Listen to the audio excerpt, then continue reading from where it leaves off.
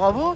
Un an après, on se retrouve avec les Orton Cheetah, mais cette fois, t'as pas la même casaque. Qu'est-ce que ça fait c'est hyper bien euh, de monter déjà dans ces hippodromes là. c'est incroyable. En plus de gagner avec des casaques prestigieuses, euh, c'est vraiment euh, incroyable. Et je tiens à remercier aussi Maxime Guillon qui me parraine euh, et qui me donne de très bons conseils. Et juste, Ça me- il t'a donné quoi comme conseil pour bâtir ta victoire là? Et il m'a dit qu'il fallait pas aller euh, au rail parce que le rail était pas très bon. Il m'a dit qu'il faut mieux se mettre un peu à, l'extérieur et il faut pas trop être en dedans parce que le, rail est pas très bon. Mais c'est ça qui m'a fait gagner, c'est grâce à lui. Et t'as gardé un peu d'énergie parce que samedi, c'est la finale quand même. hein. Ah oui, bah il a plein, lui, il a plein d'énergie.